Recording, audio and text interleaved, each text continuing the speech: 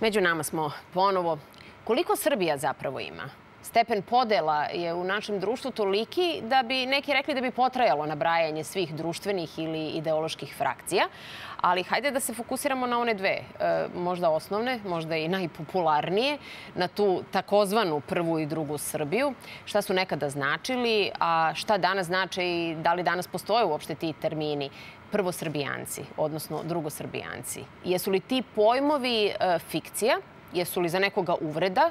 Je li to neka nezvanična titula? Je li to neka društvena linija razgraničenja? O tome večera sa liderom pokrita dveri, Boškom Obradovićem i sociološkinjom Vesnom Pešić. Dobro vam večer. I dobro mi došli. I hvala vam. Hvala vam što ste došli. E, nama je ovo bilo zanimljivo. A evo, gospođa Pešić mi reče sada prvi program, to ne postoji. Postoji danas prva i druga Srbija? zašto? Zato što ljudi obično ne znaju šta je to, otkud ta druga Srbija. Mhm. Druga Srbija se zaboravila da ponesem, to je naziv jedne knjige. Znači, jedna knjiga koja je objavljena, to je objavio Beogradski krug, zato što je svojevremeno Beogradski krug svakoj subote a pozivao određene ljude koji će na tom skupu da govore. Nisu se postavljala pitanja, nego se to završi. I onda je Ivan Čolović, koji inače napisao mnoge knjige i opštinu knjigu o Kosovu, ako ste možda vidjeli, ovaj, a, on i Aljoša Mimica su izdali te te što se govorilo na tim tribinama i oni su dali ime te knjige Druga, Srbija. Ona je bila prevedena na francuski i oni su zadržali taj naziv. A ovo kad kažete Srbijanci, to je izmislio jedan određeni čovek. Znači, nikad i tada nisu postali neki prvosrbijanci i drugosrbijanci, nego to, kažem, jedna knjiga konkretna. Žao mi što sam zaboravila da je ponesem, da je pokažete. Ovaj, to je izmislio Zoran Čirijaković, ako znate ko je on. E, da. e pa Zoran Čijaković je izmislio to Srbijanci, a zamislite kako to izgleda kad se kaže u ženskom rodu. Druga Srbijanka, e, šta je to? Jedna Srbijanka umrla, ja bi bila njena nasljednica, druga Srbijanka. Znači, ta Pa podela, kažem, ja sam kažem, to je jedno vreme, da je izdata knjiga sa tim nazivom, a on je izmislio te drugosrbijance i, i prvosrbijance. Mi smo vidjeli šta je o tome govorila Branka Prpa i možda nije loše, evo, pa da nastavimo razgovor. Kaže, cilj druge Srbije je borba protiv, on, onda, u ono vreme, protiv okorelog nacionalizma koji je znao da eskalira do šovinističkih razmera. To je termin koji je nastao u Miloševićevo vreme, kada je prva Srbija označavala onu Srbiju koja je vodila ratove zadojenu nacionalizmom, a kao odgovor na to formirao se način na koji su pojedini intelektualci definisali sebe. Je li ova definicija, je li za vas, gospodine Obradoviću, primenjiva e, danas i postoje li danas prva i druga Srbija? Pa prva i druga Srbija su dve ideološke sestre, da ih tako nazovemo, koje su nastale iz komunističkog šinjela, dakle od istoga oca još na onoj čuvenoj osmoj sednici Komunističke partije Srbije kada se, se komunisti u Srbiji podelili na Miloševićevce i Stambolićevce. Od Miloševićevaca je nastala takozvana prva Srbija, lažnih patriota i neokomunista, koji su da neki način taj istinski srpski patriotizam devalvirali i doveli ga u pitanje, na neki način ga i ponizili i E, E, rekao bih, obesmislili kroz delovanje kasnije Vuka Draškovića, Vojislava Šešelja i drugih, da kažem, pseudonacionalista. A sa druge strane, ova Stambolićevska linija je rodila brojne lažne, rekao bih, građaniste, lažne demokrate i e, čitavu tu ideju e, desuverenizacije Srbije, odnosno predavanja Srbije u ruke nekog zapadnog pogleda na svet, najpre vrednosti, a potom i klasične kolonijalne uprave. Su lažni jedni i drugi ili su lažni samo ovi građanisti? Da, lažni su jedni i drugi. Ovi prvi su lažne patriote, a ovi drugi su lažni građanisti, odnosno lažne demokrate. A ta priča je završena i tu je ovaj, gospođa Vesna Pešića na neki način kriva, odnosno odgovorna. Ta priča je završena kada je gospođa Vesna Pešić 2013. godine Ivicu Dačića i taj režim Dačića i Vučića nazvala novim De Golom i novim Čerčilom i tu je došlo do ujedinjenja te prve i druge Srbije u jednu. Eto, vidite. One su praktično danas jedno. Hoćemo da A samo da vam dokažem, samo da vam dokažem na još jednom primjeru, naravno, naravno. Nego samo kao još jedna teza za njenu, za njenu, ovaj, za njenu odgovor. A to je ta e, Vučićevski režim, on je zapravo simbioza prve i druge Srbije. Ako pogledate da Srpsku naprednu stranku e, zajedno u tom režimu čine i ostaci i Jula, i SPS-a, i Srpske radikalne stranke, i Demokratske stranke, i DSS-a, i G17 plus Mađana Dinkića, To je zapravo taj isti režim koji ovde traje u mnogo čemu još od 1945. godine. Ajmo o tome malo kasnije. Ste vi krivi ovde, gospođo Pešić, za ovo što kaže gospodin Obradović? Pa znate šta, ja nemam nikakvu namjeru da njega nešto uči, da ga nešto ispravljam. Ne postoji nikakva Stambolićeva linija. To uopšte ne postoji. Zato što ako već hoćemo da se bavimo nekakvim istorijatom, a, znači, ta priča o drugoj Srbiji je nastala onda kad su Srbi počeli da, vrat, da vode ratove u Komšiluku. Znači, mi smo prvo napali Hrvatsku, pa smo tamo proglasili tri dela, ovako smo napravili od Hrvatske, i onda smo to nazvali Republika Srpska krajina. A, onda su se ti ratovi završili dosta nepovoljno, a, pa onda su nastali ratovi u Bosni već 1992. godine, kad su sa Pala počeli Vladić i Karadžić da pucaju dolje na okupljene demonstrante i kad su padale devojke koje su istreljali, znači to je bilo to je bila 92. godina u aprilu mesecu. E sad, a, tada je bio u to vreme, su se osnivale određene mirovne organizacije, recimo postale ono paljenje sveća, pa se, se za poginule, za sve poginule u ratu, pa su se palile sve sveće, eto za sve poginule, pisale se pre peticije i tako dalje. Znači, a, Beogradski krug je nastao kao Beogradski krug intelektualaca. Na toj osnivačkoj skupštini ja sam bila prisutna, tako da mogu da kažem od prilike kako to izgledalo. Znači, tu je jedan jedini put bio, inače, naš čuveni pisac, ja ga znam još od najranije mladosti, kao autora, lično ga ne poznajem, Rade Konstantinović, Radomir Konstantinović, koji je u svom govoru rekao to da, budući da su krenuli strašni zločini u, u, u Bosni koji su činile srpske snage, recimo, a, obično se pominje samo Srebrenica, ali ja moram da pominjem recimo da u Prijedoru ubijeno 3.500 ljudi. I ja sam imala čak priliku da se nađem u listu vreme kad je došao jedan čovek koji je izbegao iz Prijedora i ispričao nam šta se dešava, a drugo to su sad i podaci fonda koliko je tamo pobijeno ljudi. Znači, kad je krenuo taj masakar, neki su ljudi osjećali neku vrstu mm, griže savesti, ne zato što oni nisu Srbi, nego zato što jesu Srbi, nego ne mogu da prihvate tolike zločine koje su činjeni u, u Bosni. Naravno da su uvek činjeni i zločini sa druge strane, ali ideja je bila još od Miloševića da se da, da, da tako je istorija bila. Srbi su, znači Ruvarac rekao u 19. veku, znači da, da Srbi su se rasuli i oni ni u Hrvatskoj nisu došli i uče, nego su došli tamo pre nekoliko vekova. Napravili su znači tu stražu, Austro-Ugarska ih je bila formirala i znači bili su se daleko raselili, živili su u Bosni, živili su u Srbiji, znači Srbija je naravno najvažnija, znači oni su se rasuli i onda je nastala ta ideja da se pokupe svi ti Srbi odande i da se oni sprovedu i da budu jedna država. E, I ta ideja po mojom mišljenju je bila veoma loša ideja. Ali hajde ja ne vidim šta je nama falilo Meni su istoričari Srbi iz Zagreba pokazivali da su tu glavnu čaršiju u Zagrebu držali Nikolić Milutinović, da držali Srbi. Šta nama falilo tamo da imamo te Srbe, ja ne znam. Je li moguće znači, danas, gospodine e, Obradoviću, znači, eto, govoriti... To je nastala, da. ta. Hoću, hoću sad da pitam I onda samo... samo da završim Aha, kažete, izvinite. Onda je, onda je, kad je napravljena ta knjiga, onda je na tom skupu Rade Konstantinović rekao da nisu svi Srbi ti koji idu tamo i to čine, nego da su to ljudi koji se nikad neće pomiriti s tim da Srbi čine zločine. Mhm. E. Je li, e, je li moguće i tada, a i sada, govoriti ovako kako govori e, gospođa Pešić, a da se ne dobije ta etiketa pripadnika druge Srbije? Evo da ne iskoristim e, to drugosrbijanca. Nije to etiketa, oni su sami sebe tako nazvali, kao, Nije, da kažem, intelektualni krug. Nije.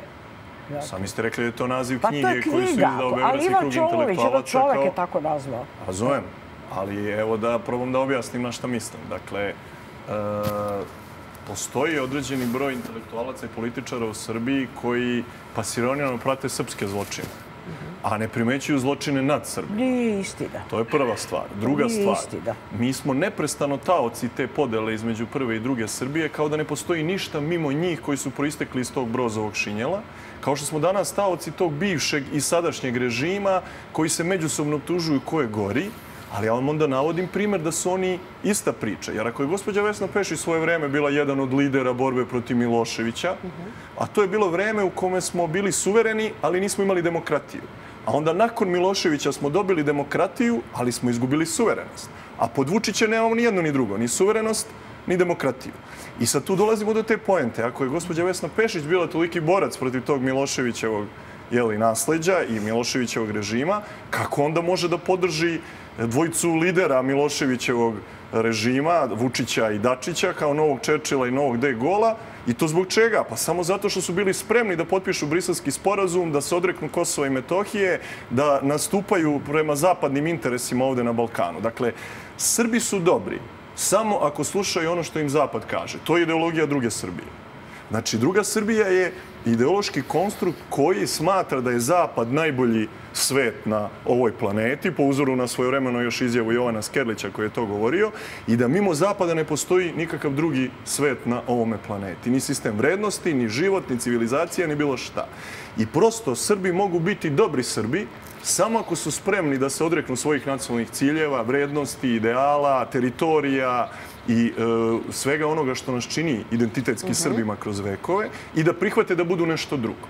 Dakle, to je otprilike jedna ista ideološka linija. Koja je za ulazak Srbije u NATO, koja je za priznanje lažnog genocida u Srebrenici, koja je za priznanje lažne države Kosovo, koja je za uvođenje sankcija Rusiji. Dakle, vidjet ćete da oni imaju potpuno identičnu ideologiju. Znači, to Ona je uvek suprotna srpskim nacionalnim državnim Ja ne znam, da vam kažem, vi interesima. sad pričate sa mnom. A sad ja kad bi mogla da pričam šta vi pričate. Ako pričate sa mnom, onda govorite šta ja, ne znam, to su neki drugi ljudi koje ja nemam nikakvog razloga da branim ja koja sam došla ovaj sudije te neke druge ljude o kojima vi pričate. Ja ne znam ko su ti drugi ljudi. Ne znam, da, kog političara sad smatrate, ja ne znam da, da uzmemo neko konkretno. O, o kome govorite? Ja ne mogu sada da stanem iza tih nekih drugih ljudi o kojima vi pričate, ne znam ošte koji su ti ljudi. Znači, Dobro, da li su vaši u- u stavovi tom- ulazak Srbije u NATO, uvođenje sankcija Rusiji, ja priznanje nikad- kosovske nezavisnosti? Nađite, nađite gde sam rekla ulazak u NATO. Ajde, nađite. E, da se Šta mislite o tome? Da li ste za to? E, nisam za to da uđem u NATO. E. Da li sam Eto, vi se razlikujete od druge Srbije. Ali sam uvek bila za ulazak u Evropsku uniju. Dobro. A da li ste za priznanje e, nezavisnosti Kosova? Pa znate šta, a, ja, to ste vi preskočili, preskočili u ovoj svojoj istorijskoj tiradi, kad ste govorili o Miloševiću, šta se tada dešavalo, pa ste bili nekako protiv Miloševića, ne znam zašto ste vi protiv Miloševića, pošto vi hoćete ujedinjenje svih Srba, vi zastupate tu vrstu ideologije. Vi niste srbijanac kao ja. Ja sam stvarno Srbi, u Srbiji i ja sam za Srbiju. Ja neću da skupljam Srbe po celom Balkanu kao što hoćete vi. I da branim neko srpstvo koje je jednostavno jedna izmišljotina. Znači, u vašem ono što ste izlagali, napravili ste jednu grešku, zato što je a, praktično, ako govorimo o Kosovu, Milošević je izgubio Kosovo.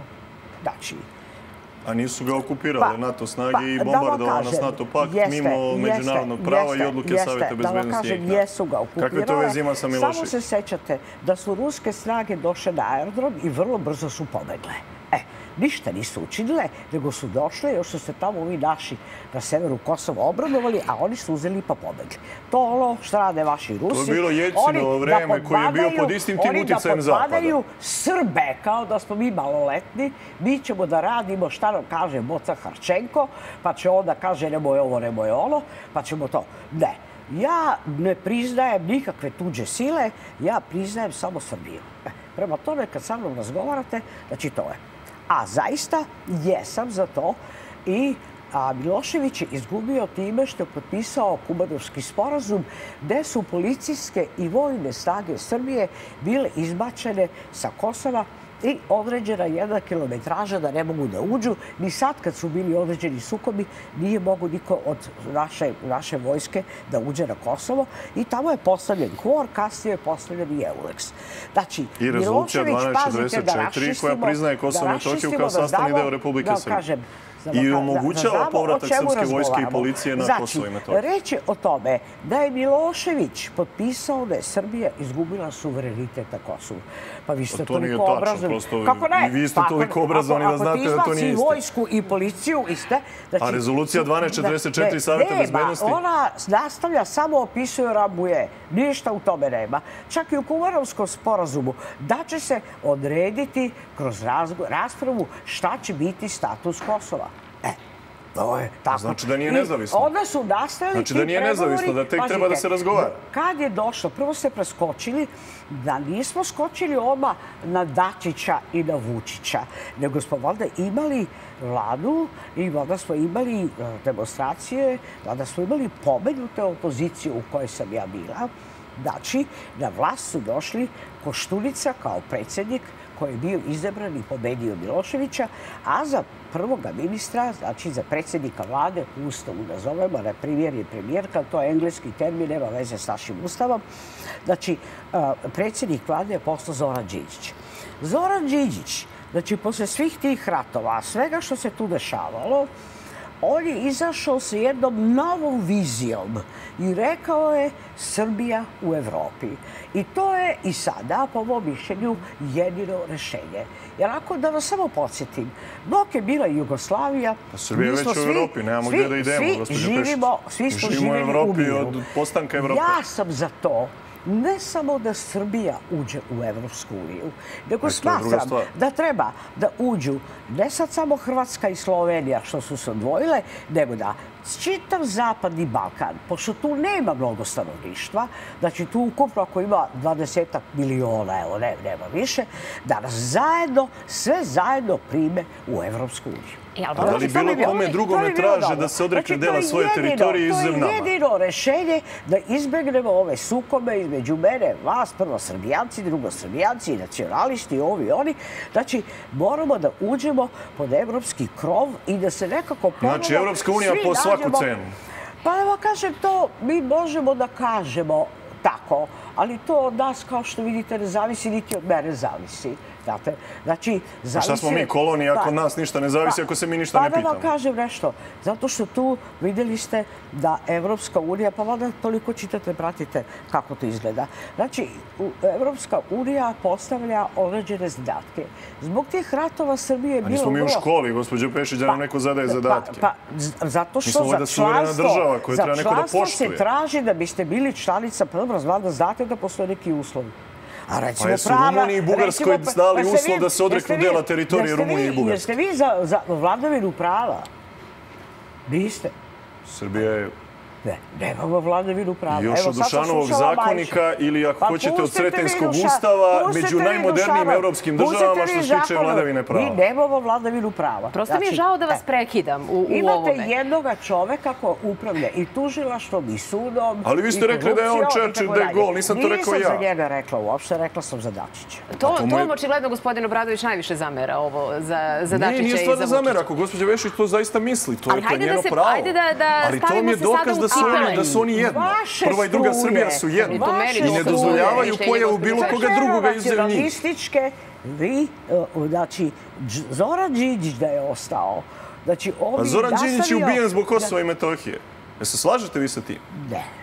Zato što je Zoran Đinđić pokrenuo temu Kosova i Metohije? Pa, jeste. Je Zoran Đinđić pokrenuo temu da treba razgovarati sa Rusijom i sa Kinom i drugim velikim svetskim silama, ne samo za Zapadom? Za nije Zoran Đinđić bi onaj koji je rekao čekajte, Zapad se odnosi isto prema meni kao i prema Miloševiću. Znači, bez obzira što smo promenili vlast, što je ovo demokratska zemlja, ponovo nam rade isto što su radili Miloševiću.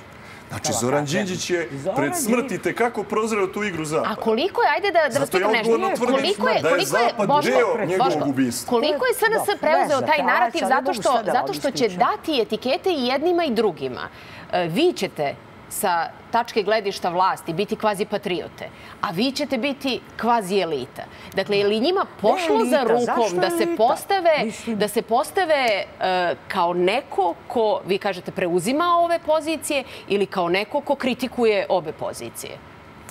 Lako je praviti medijsku političku poziciju u sistemu potpune kontrole medija kao što Aleksandar Vučić danas ima. On može za sebe da kaže da je e, bilo šta, kao što može da kaže za sve nas druge da smo mi bilo šta. Jasno je da je on kontinuitet DOS-a. Znači, Aleksandar Vucić Vučić je vrhunac DOS-a i vrhunac tog okretanja ka zapadu koji mi živimo posljednjih 20 godina idući u Europsku uniju po svaku nacionalnu cenu. Dakle, gdje je kraj tim ucenama? Evo sada potpišemo izdaju Kosova i Čekajte, za vreme, za vreme DOS-a, jesmo imali, čekajte samo da vas pitam, sad moram ja da vas pitam, jesmo imali institucije, jesmo li imali slobodnije e. medije, je li, to, je li ovo ipak bilo drugačije vreme za vreme DOS-a ili je bilo ovakvo vreme? Jesmo li imali neku širu koaliciju ili je vladala jedna partija? Ja sam to i rekao, da je u to vreme bilo više demokratije, ali bilo manje suverenosti. Pomenula sam medije zato što je to tema koja je meni po prirodi stvari naravno, naravno važna. Dakle, može baš da se stavi znak jednakosti? Ne, ja I da se kaže on je usavršio dos? Bilo je u vreme posle 5. oktobra više medijskih sloboda i više demokratije, ali manje suverenosti. Više smo bili kolonija. Više smo imali kolonijalnu upravu koja je morala da isporuči svoje policajce, generale, političare, da proda svoje fabrike, banke, da uvede strane kompanije. Znači, mi smo postali kolonija. Da, bilo je demokratije, ali nije više bilo suverenosti. Apsolutno netočno. Sve je netočno. Šta, šta je netočno? Pa, znate šta, nismo poslali nikakva kolonija. Vi ste zatekli za vreme tih deset godina i tog ratovanja jedno jezivo stanje možda je gospodin dosta mlađi od mene, pa ne znam kako je izgledalo u to vreme. Znači, mi smo sve na crnom berzi kupovali. Meni mama kaže, idi kupi višnja kod Mađara. Kakvi Mađari? To su ovi naši koji idu u Mađarsku da kupe, pa idemo na pijacu da kupimo, nismo imali šta da jedemo. Uđe mi radnu... se toga gospodin Bradović, toliko mlad nije. Nema ništa. Bilo je skroz prazno. Znači, da vam kažem, nikakva, posle toga, kad je došao DOS na vlast, mi smo zatekli radnici, nisu bili u fabrikama. Deset godina, to je sve bilo staro gvožđe. I onda je počela prodaja drugo. Ja mislim da ste vi za to. Znači, prijela je ogromno društveno svojina. I šta smo sad trebali? Da ostavimo to društvenu svojinu? Eto to sada, da, znate šta, to je velika tema. Da li je trebalo prodati ih tajkunima bliskim dosovskoj vlasti ili strancima za jedan evro ili... US Steel je bio prodat za vreme Điđića. Govorimo sad o Điđiću. Nemojte sve da mešate u isti. Điđić nikakve veze nema sa Vučićem. Vi znate da njega, ja ne znam, da njega čak bije glas da se veselio kad je ubije Điđića. Ja ne znam, to, to se priča, ja ne volim intrige nego znači mi smo zatekli jednu potpuno ruiniranu zemlju, znači potpuno istrošenu. Drugo, već samim tim ratovima potpuno istrošenu. Privreda nije postala. Kakve banke? Ništa nismo imali. Ali je sve bilo u našem vlasništvu, gospođo Pešić. Inflacija. A šta je danas u našem vlasništvu? Milijarde. Prodali smo sve stranci. Ne, pa nema kažem Ne pitamo se, ne odlučujemo ništa o e. sobstvenoj zemlji. Pa, Zavisimo od MMF-a, Svetske banke, Brisela, Vašingtona, NATO-a. Da, da se ja negde i složim sa vama. Vidite, ova vlast sadašnja, koju ja sam protivnik te vlasti, ona ne voli da ima, jer ne možete imati stvarno dobru i prosperitetnu ekonomiju koja je na nekim čvrstim temeljima ako nemate domaće preduzetnike. Ne samo da su javna preduzeća pod kontrolom Vučića i njegove stranke, a delom naravno i Dačića, pošto oni to dele kao braća u stvar, a sve to zajedno. Znači, kad imate to, a, a, da podele, zašto se recimo javna preduzeća nisu uvedele, uvele kao što su sad, dali smo milion i po dolara norvežanima da nam naprave menadžment zato što je Mića iz pečenjare u propastiju EPS. Da, mnogo, znači, mnogo je ovdje sa pojedinačnih pitanja. A znači, koja je tačka jedinstva između ove dve priče? Pa, pa zato vam i kažem. Malo pre reče gospodina Pešić. Znate, znači, nije reč o tome, ali pošto Vučić ne kontroliše samo javna preduzeća i državne službe i da moraju da slikaju ono kako su glasali, i to sve znamo da to ne gubimo vreme, nego on naređuje i tim jadnim sitnim poljoprivrednicima, privatnicima što će da rade i njih on drži pod kontrolom. Je li pošalje financijsku kolinu? Je može neko da donira nešto što je moglo da se donira? Ne može zato što tom privatniku odmah uđe financijska policija. Pošto moramo da završamo. Ali onda ovi vaši su zapada kažu u redu je da Vučić ne bude demokrata, samo neka je preda Kosovo i Metohiju. Samo neka našim pa firmama daje subvencije. Samo neka banke znači, proda našim bankama. Naše poljoprivrede. Pa čekajte, ovaj, treba ti uvorno, i naše znači, privrednike... Zapad neka je za demokratiju i nema problema sa autokratama kada te autokrate služe zapadnim interesom. Da li vi znate da u Americi ima najveći broj stranih investicija? Znači, što sad fali? Pošto su i tako realno naše neke investitore, vrlo ih je malo, i to je uglavnom neki mali, mali biznis, dobro je da dođu investitori. Nije dobro kad to bude Kina, pa tamo ko nam ruši planinu, staricu i radi s našim ljudima i, i, i našom geografijom i našom državom što god im pade na pamet, to nikako takvi nam ne trebaju. Ili one jadne vjetamce što su zatvarali tamo kao stoku su i držali, takvi nam investitori nisu baš dobri. O, izbrozi sada Jinping, tone zlata odavde, hvali se kako izvozi, a onda Vučić kaže pa mi kupimo od njega zlato po nižoj ceni. A ono naše zlato. Pošto moramo, da moramo gospođo Pešić, da, da, da zaključujemo ovaj razgovor. Znači, možemo da otvorimo tu temu, ali vratimo se mi na ovo zbog čega smo mi tu došli. Pa moramo znači, da završavamo ovo zbog čega pa smo tu došli. Ali vi ste rekli, ne, zato i time možemo da završimo ako moramo. Znate šta, kad je reč o ovom posljednjem predlogu, Ja mislim da taj predlog ima neke dobre strane, zato što je ono, ono što posebno pogađa Srbiju izbacio. Znači, nema priznanja.